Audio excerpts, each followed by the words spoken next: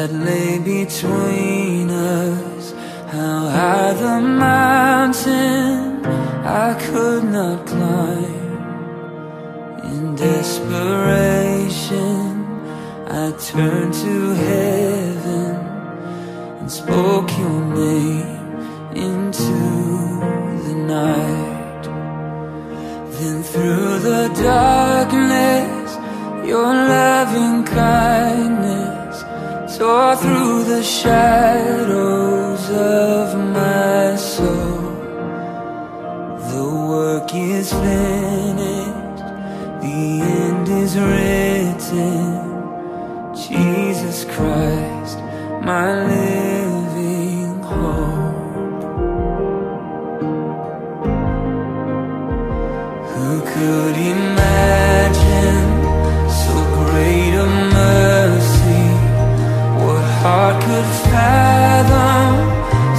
boundless grace? The God of ages stepped down from glory to wear my sin and bear my shame. The cross has spoken, I am forgiven.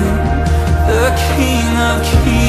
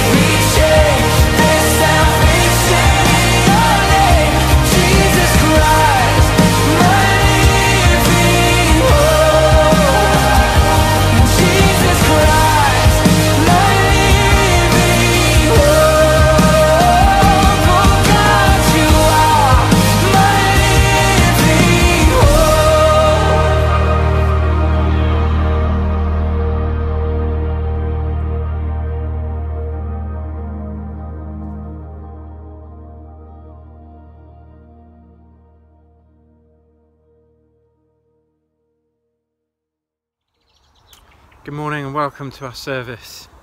We've just been singing about Christ, our living hope. And as we've just coming off the back of Easter, that's what we've been remembering, isn't it? In the resurrection of the Lord Jesus, because he's alive, we have a living hope. And that's just wonderful. And we can remember Jesus, our living hope, together as we meet this morning just a couple of things to remind you of. Please do look at Church Family News, which is available on the website. And also, um, just a reminder that Discipleship Explored, after a break for Easter Day last week, starts up again at 6.30 this evening on Zoom. Now, uh, this morning uh, we have a guest preacher uh, preaching for us, which is great. Uh, some of you will know and remember Lee Gatiss, who used to be a curate here at St Botolph's and who is now the director of Church Society. He's going to be preaching for us a little bit later on in our service on 1 Corinthians 15. But at the beginning of 1 Corinthians, um, in verse 18, it says this For the word of the cross is folly to those who are perishing but to us who are being saved, it is the power of God. As we've reflected over these last weeks on the cross and resurrection, we can be reminded from 1 Corinthians that actually for, for us who now entrust the Lord Jesus, it's the power of God. It's the way we can be saved. So let's pray together. Loving Father, we thank you so much that we can meet together this morning. Thank you for the cross. Thank you that through the cross we are saved. And Lord, thank you for the resurrection. Thank you that through the resurrection we have a living hope. Lord, please would you help us to grow to know and love Jesus more through our time together this morning. We pray in his name. Amen. And we need the cross and the resurrection because of our sin, because of our failure and our inability to live for God in any way. We need His grace, His forgiveness, and we need the cross. So let's confess together. Lord God, we have sinned against you. We have done evil in your sight. We are sorry and repent. Have mercy on us according to your love. Wash away our wrongdoing and cleanse us from our sin.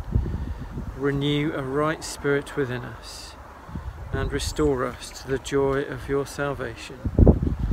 Through Jesus Christ our Lord.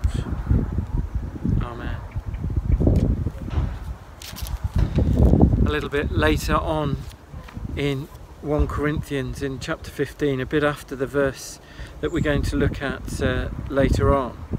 It says this The sting of death is sin, and the power of sin is the law.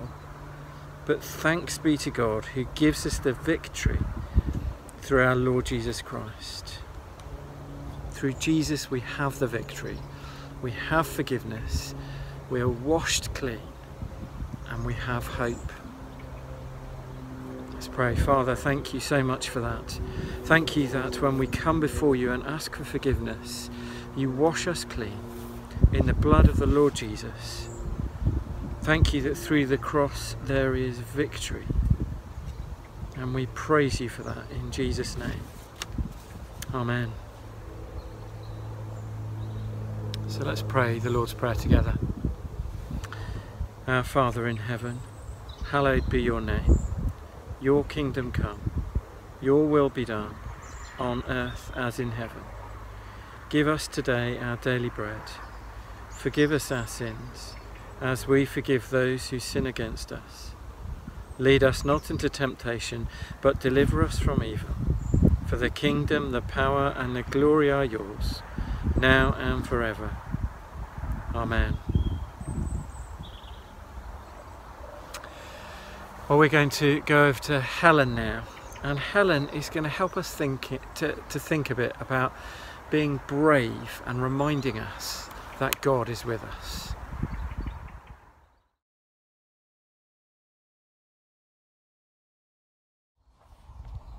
Have you ever been afraid of something? Really quite scared?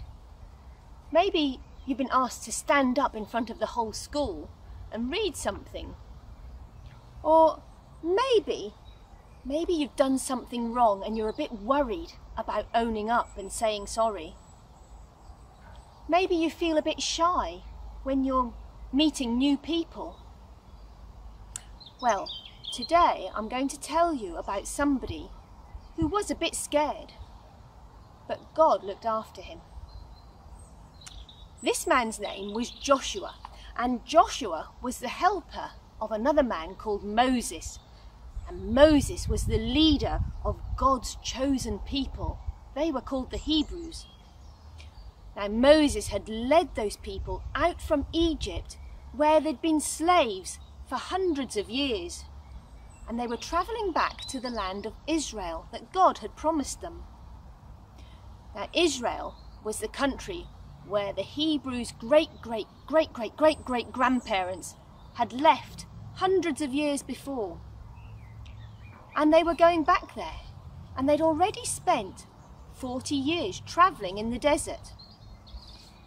Now, God had promised them their own land, but they had to defeat the people that were already living there first.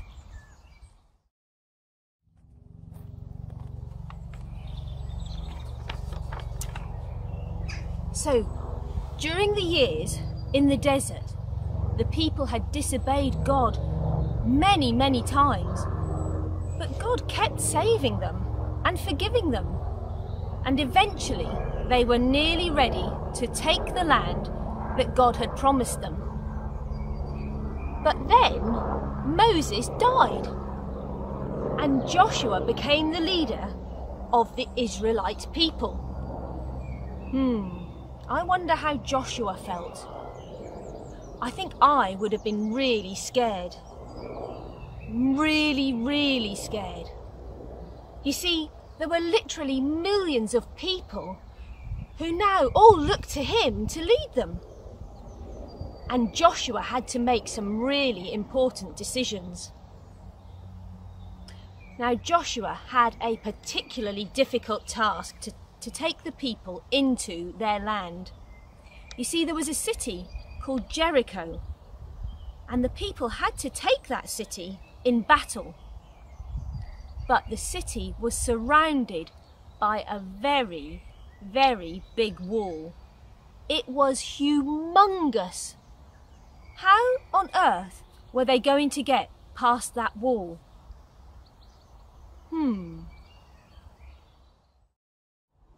Now, God spoke to Joshua, and God told him the same thing over and over again. Joshua, be strong and be brave. Be strong and brave and remember to obey what I have taught you. And again, God said to Joshua, Remember that I have commanded you to be strong and brave don't be afraid, because the Lord your God will be with you wherever you go. And God told Joshua exactly what the people had to do so that they could capture the city of Jericho. It was a bit strange. This is what God said. You must make the people walk around the entire city wall once every day for six days. The priests will go at the front of all the people and lead them around the walls of the city. Now the priests were the special people who led the whole nation when they were worshipping God. The priests are also to take with them trumpets made of the horns of sheep. That's very odd. Then God said to Joshua, On the seventh day, all the people, with the priests at the front, must walk around the city seven times. Not once, not twice, but seven times. And as they walk, the priests must blow on the trumpets made from the sheep's horns. And when the priests blow on the trumpets, all the people must give a big shout, Hurrah! Just like that, but louder. Now, I don't know if you've ever tried to blow a trumpet, but it's quite hard to get a note out of it. So probably the priests knew how to do it, and they made a big sound. And anyway, that's what God told Joshua to tell the people to do.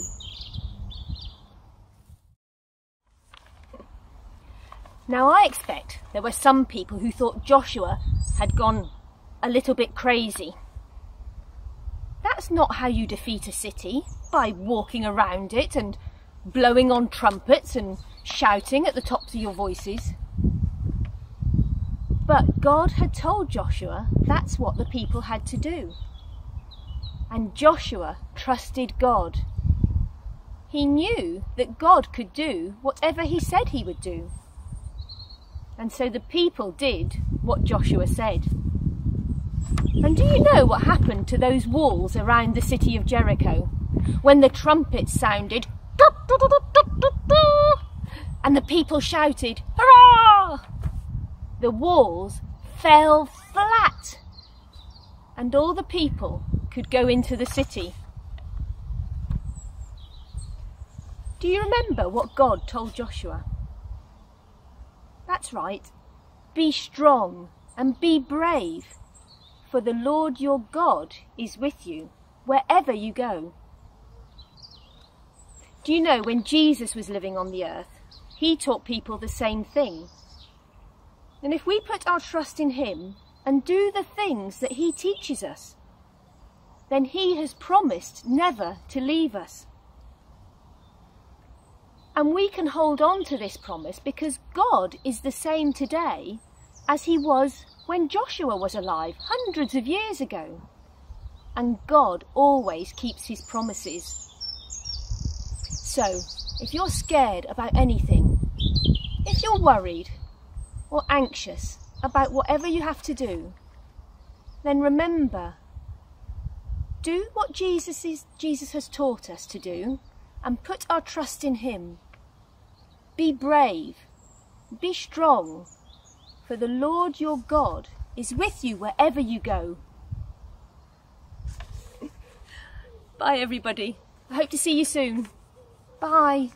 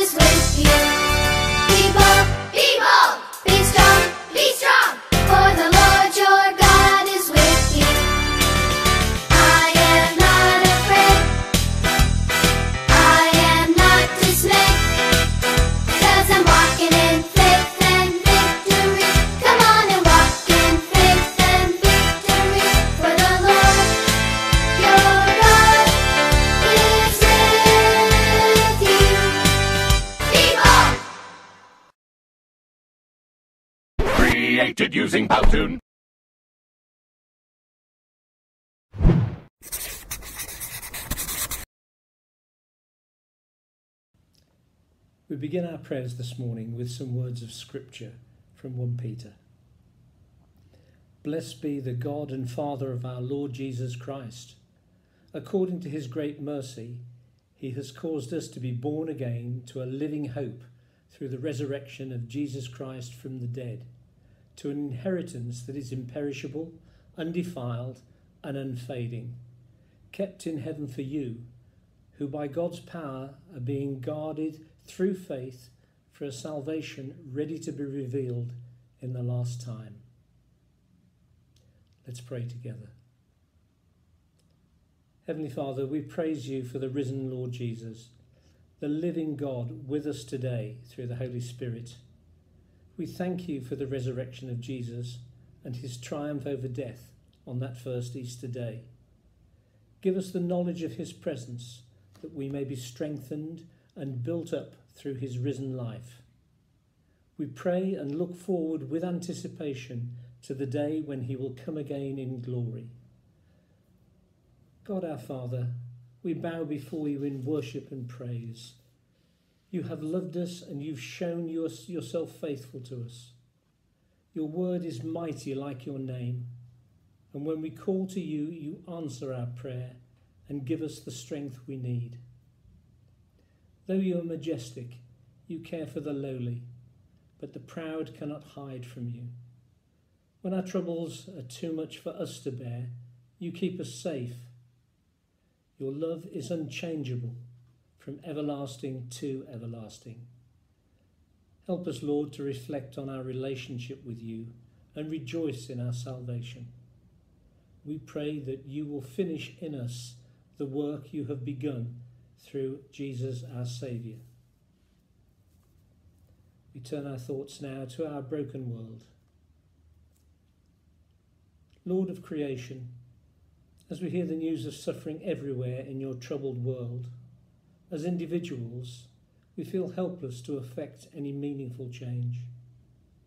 We have our hope in your compassion and mercy, knowing that Jesus suffered to do your will. Although we cannot see a way forward, we know that you are there in the darkness to strengthen us. Loving God of mercy and grace, through the Holy Spirit, stretch out your hand of comfort and healing to this broken world. Make all things new in Christ, spreading justice and peace where there is crisis and disaster.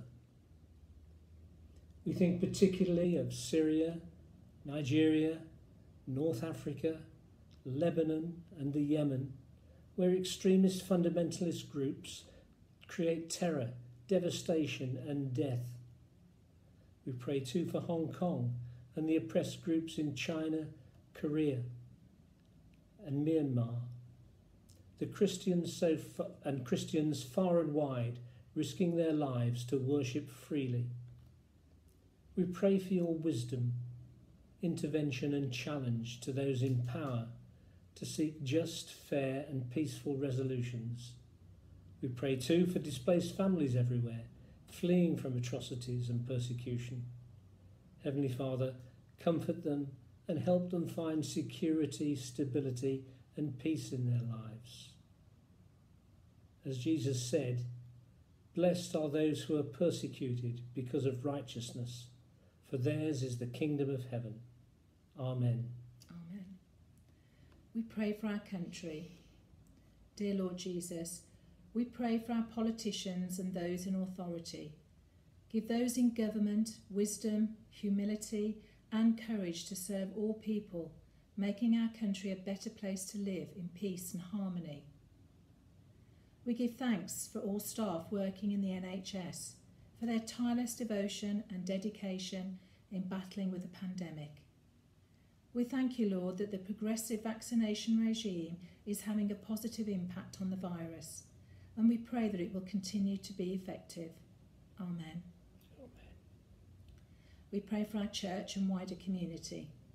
Heavenly Father, we thank you that we can come together to worship you in freedom and peace. We ask your blessing on the work of this church reaching out through various media during lockdown. Holy Spirit, bind us to one another in love and trust within the fellowship of the Church. Make us faithful witnesses to your goodness, fearless proclaimers of your truth, and humble seekers of your continuing guidance, however we are able in the current situation. We pray that you will lead us back to collective worship when it is safe to do so. Strengthen our faith through prayer, broaden our hope as we encourage each other, and deepen our love as we share the gospel at home and in the wider community. Amen. Amen. Let's pray for strength for ourselves and others. Dear Lord Jesus, help us to bring into our daily lives your care for one another and a genuine interest in everyone we meet. Help us in our calling as men and women to shine as lights in the world as witnesses for you, helping us to observe your commandment to love our neighbours as ourselves. The suffering of people we love is harder to bear than our own. Often we can do so little to share their pain and relieve others of their burdens. You sent your Son into the world to suffer and die. You know those feelings better than we do. We pray that you will comfort and relieve those in distress and in their time of need, give them patience in their suffering and bring good out of their troubles. Merciful Father, accept these prayers for the sake of your Son, our Saviour, Jesus Christ. Amen. Good morning. This morning's reading is taken from the first letter to the Corinthians, chapter 15, and beginning to read at the first verse. Now, I would remind you, brothers, of the gospel I preached to you, which you received, in which you stand, and by which you are being saved, if you hold fast to the word I preached to you, unless you believed in vain.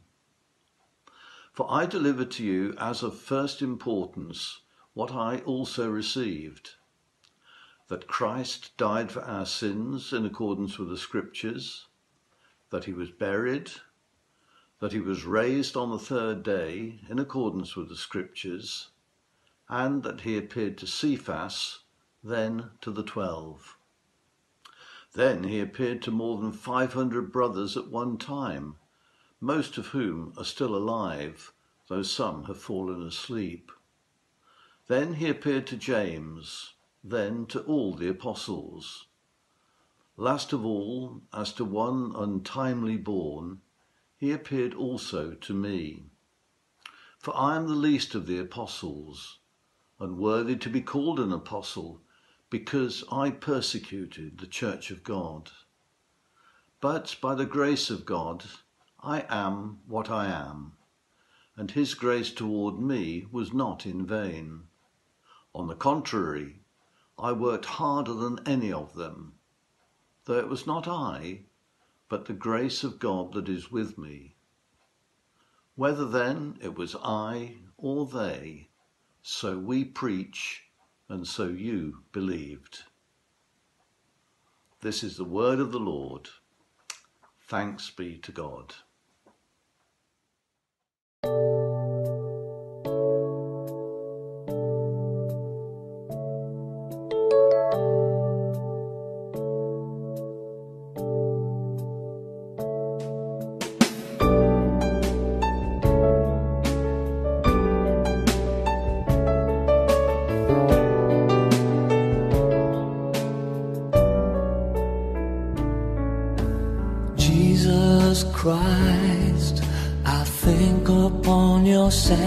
Sacrifice. You became nothing, poured out to death. Many times I've wondered at your gift of life, and I'm in that place once again. And I'm in that place once again.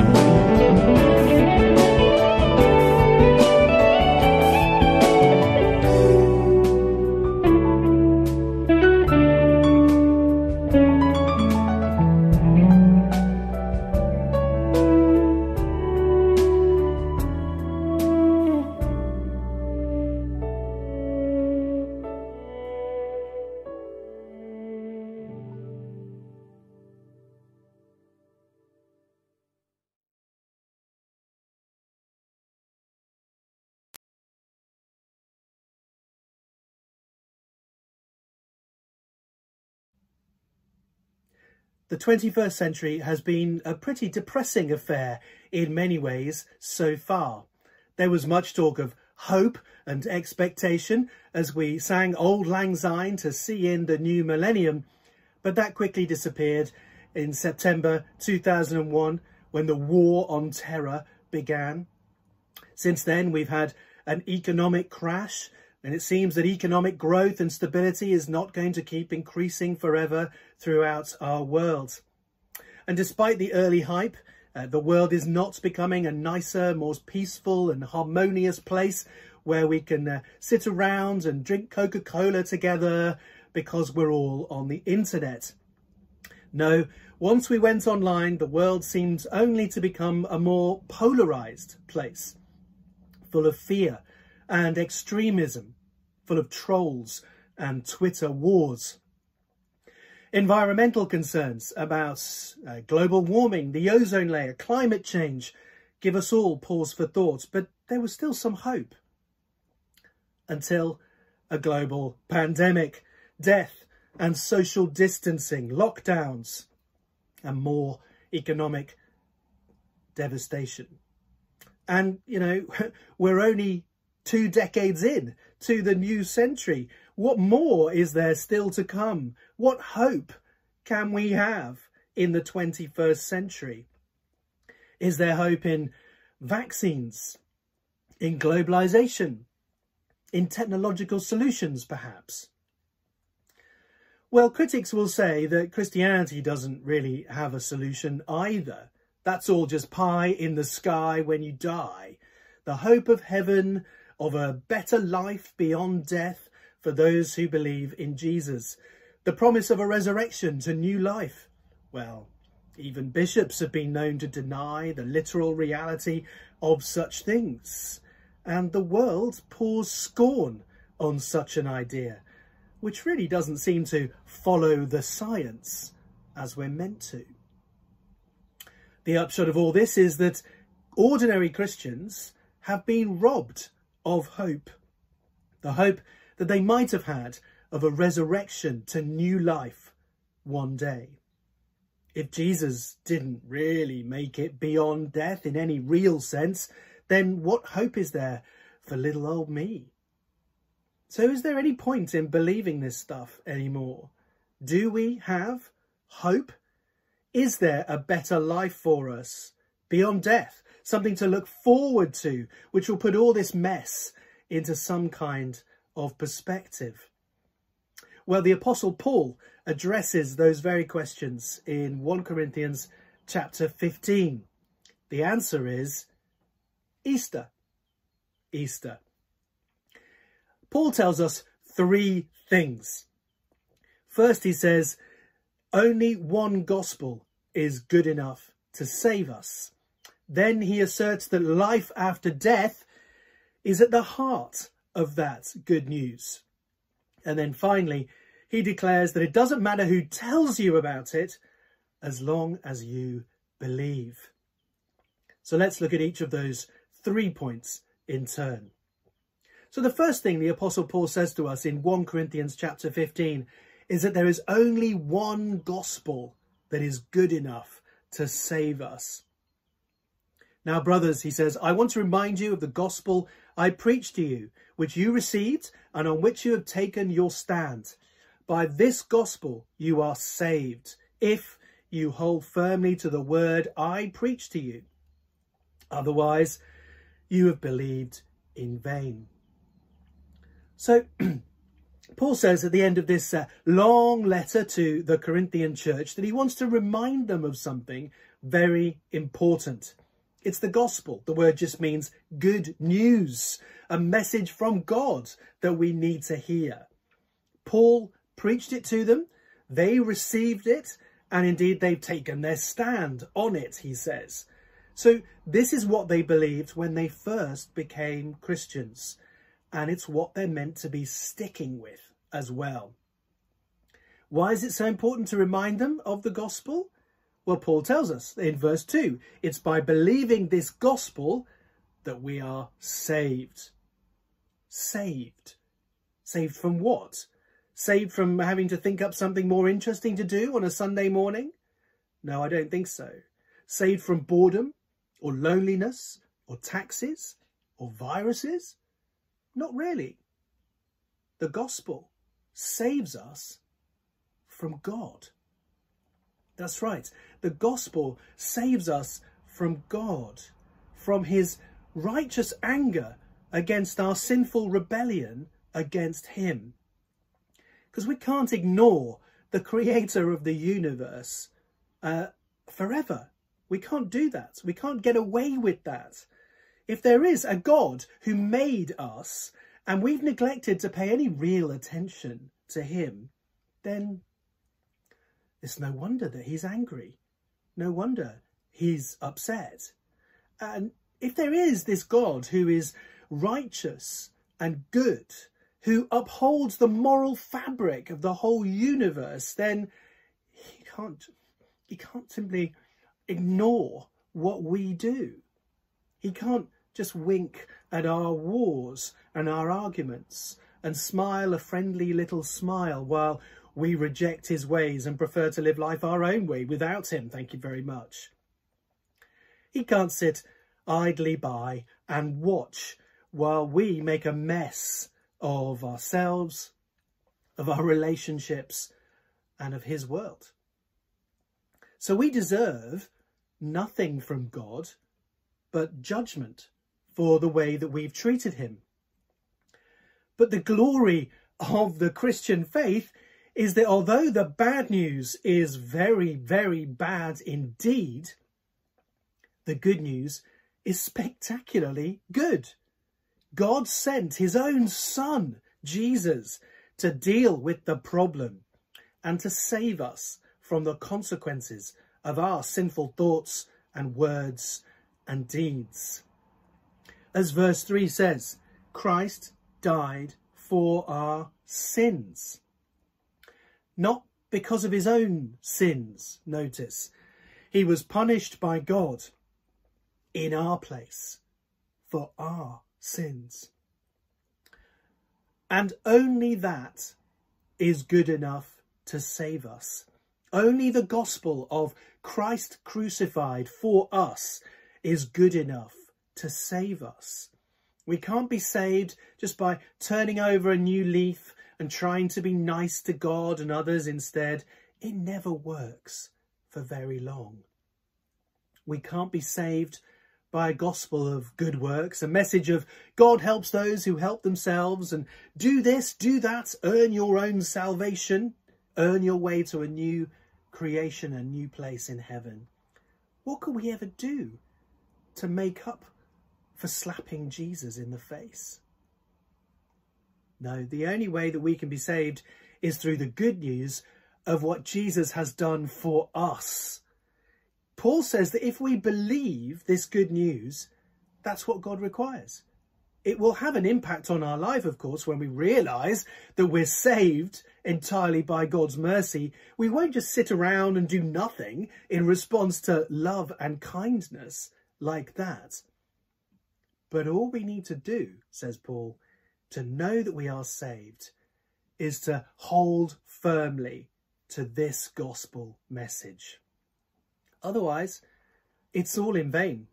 If you just water down the message, then it won't be good enough, like a diluted, faulty vaccine. If we take out the bits about judgment and hell, uh, sexual morality perhaps, let's change or take those bits out. Well, some people might listen a bit more to our message, I suppose, but the news that they will hear will not do them any good. We need to get the diagnosis right or the prescription will be useless. So we need to keep hold of the gospel as the Bible itself presents it to us, or it will do us no good in the long run. So that's the first thing that Paul says to the Corinthians. Only one gospel is good enough to save us.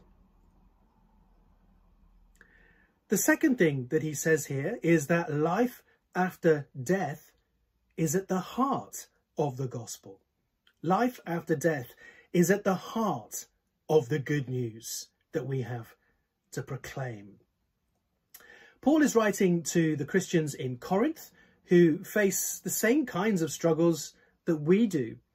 There are some people in Corinth who are saying that biblical Christianity is just a load of rubbish. It's completely outdated and rubbish. Jesus didn't really rise from the dead or anything supernatural like that. And what Paul says to that is that such people are not preaching authentic good news.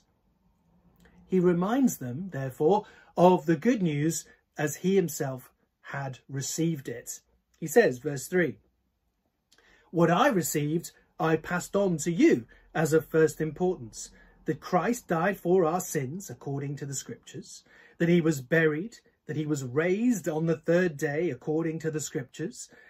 And this is the gospel, the gospel that he had preached to them. It's also, he says, the gospel that they had received and believed. This is the gospel, he says, in which you should stand firm because, verse 2, by this gospel, not a watered down version of it, you are saved. Salvation is achieved on the cross, as Paul stressed earlier in this letter. But here he puts more emphasis on the resurrection in verses 4 to 8. It's important to be clear on this. The resurrection of Jesus and the idea of life after death is absolutely fundamental to the Christian message.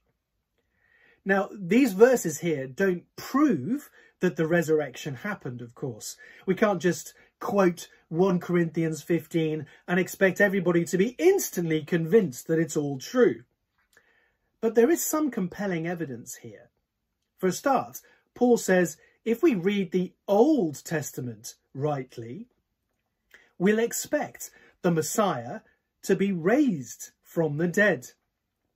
See, in verses 3 and 4, he says that Christ died and was raised again according to the scriptures. He doesn't mean as it says so in the Bible. It's not according to the scriptures that's what happened. What he's saying is that the resurrection was in accordance with the scriptures. It is consistent with what we were told would happen in the Old Testament. And not only that, but he says that plenty of people saw Jesus risen from the dead. He appeared, said Paul in verse 5, to Peter and then to the 12, the inner circle of Jesus' disciples. And then we're told in verse 6 that Jesus appeared to over 500 people at the same time. Now, that couldn't have been a hallucination. That several people would have had the same hallucination is medically impossible, let alone 500. Paul even says to the Corinthians that most of these eyewitnesses are still alive at the time of writing. They can be questioned. They can be cross-examined if you like. It really did happen, he says. Check it out if you want to. Jesus is alive again. Jesus is alive again. He once was dead, but now he has been given new life. And there's some excellent indirect evidence for the historical reliability of that claim. But these verses are not trying to prove it to us. What Paul is trying to make abundantly clear is that life after death is at the heart of the good news. And it all hinges on Jesus' resurrection from the dead. That was no conjuring trick. He really did appear bodily to many witnesses, including weak little old Paul himself. So this is the authentic gospel, the gospel of the cross and the resurrection of Jesus. So we can't, can't simply do away with resurrection life after death and still call ourselves Christians. That just isn't an option. Easter, the resurrection, is at the heart of Christianity. It isn't about some moral code. It isn't about being nice people living in a caring, loving community or about religious rituals or trying to improve society.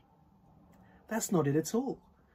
Those may all be very good things, but Christianity is fundamentally about life after death and how despite the fact that we don't deserve it, Jesus died to make that possible for us.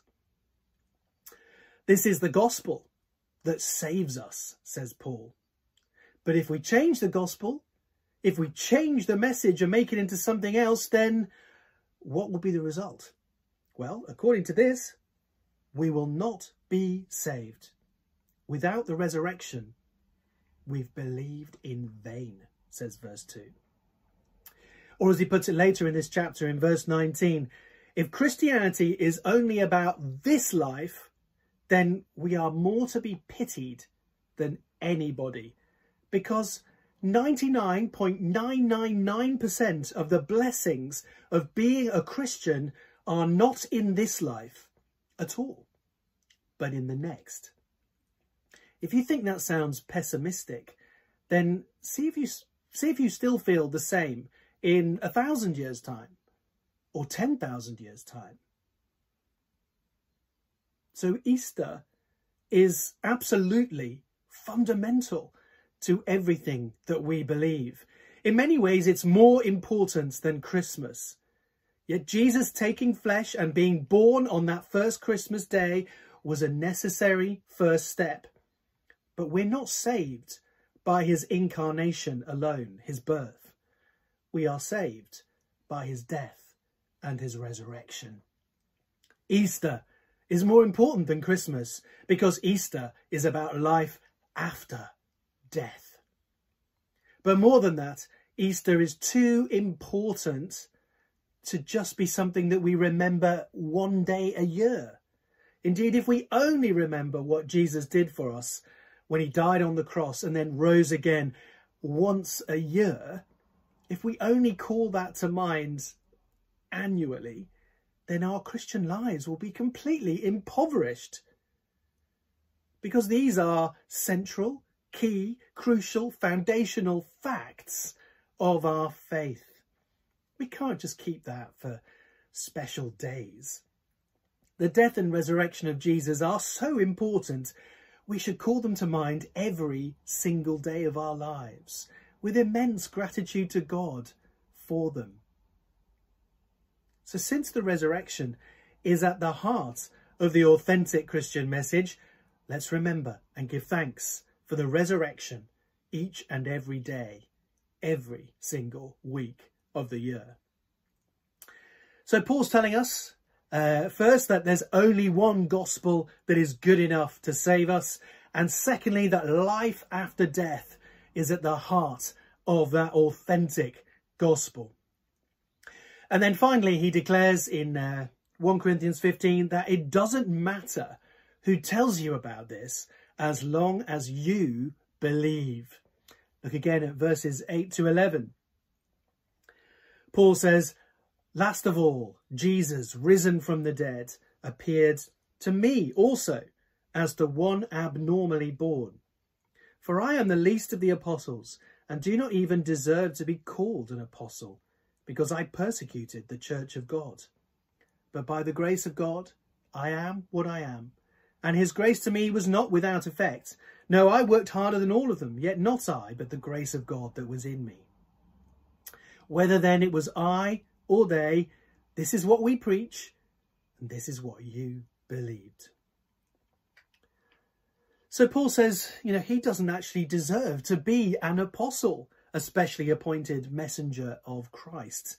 He persecuted the church. He killed Christians for his living. So he certainly didn't earn this special title of apostle. He acknowledges straight away that it's all been by God's grace, his completely undeserved kindness towards a terrible sinner like Paul. And that grace was not without effect. God saved him from judgment and even made him an apostle despite the fact that he deserved nothing but an eternity in hell. God graciously saved him for an eternity in paradise. And that's what the gospel is all about. And because of God's grace, those Corinthians heard the good news through Paul. They could have heard it through others, though. It didn't really matter in the end, says Paul. Verse 11, whether it was I or they, this is what we preach. This good news about life after death, this is what you believed. Doesn't matter who we hear it from. It could be from Paul. It could be as we simply read the Bible for ourselves. It could be through other people as they tell us the good news about what to believe. It could be through a Zoom conversation or a YouTube video or from somebody far, far away. What matters is not who tells you the good news. What matters is that they tell you the real good news, the only gospel that works, the only one that can really give us hope. The gospel is about Jesus dying on a cross to take the punishment for our sins and rising again to new life after death, the first of many to enter that new world. It matters that we get that gospel right. And what matters finally is that when you hear it, you believe it and firmly hold onto it. Otherwise, there's really no point. There's really no point to all this if that's not true. Because, you know, this is not just about religious entertainment. It's not just an ancient history lecture. How we respond to this matters. It matters to you and me today. It matters more than anything else in the whole universe. So how are you going to respond to this? Do you have any other kind of hope that is as solid as this? Let's pray. let's just take a moment of quiet to reflect on our own response to this passage of Scripture.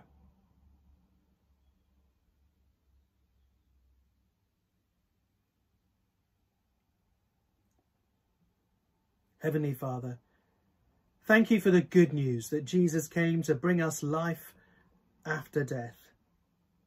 Thank you that you offer us such new life despite our rebellion against you the way we turn our backs on you, in the way that we live. Help us not just to believe this, but to hold firmly to it, to trust in what you have revealed to us here, and live our whole lives in the light of what it says. We ask all this in the name of Jesus. Amen.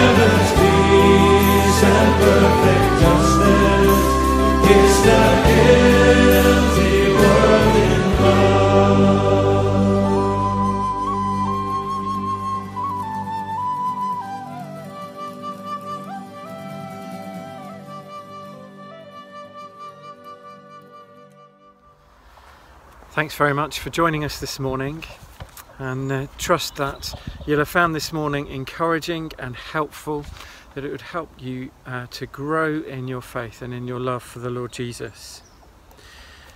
I want to finish where we started this morning with 1 Corinthians chapter 1 verse 18. For the word of the cross is folly to those who are perishing, but to us who are being saved, it is the power of God. So let's pray the grace together. The grace of our Lord Jesus Christ and the love of God and the fellowship of the Holy Spirit be with us all evermore. Amen.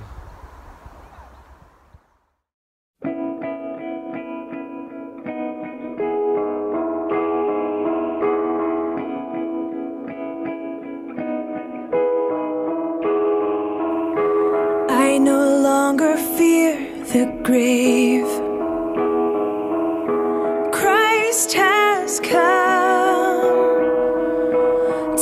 The sting of death away through his saving blood. Though my body fails and my flesh grows weak, till my final breath to this hope.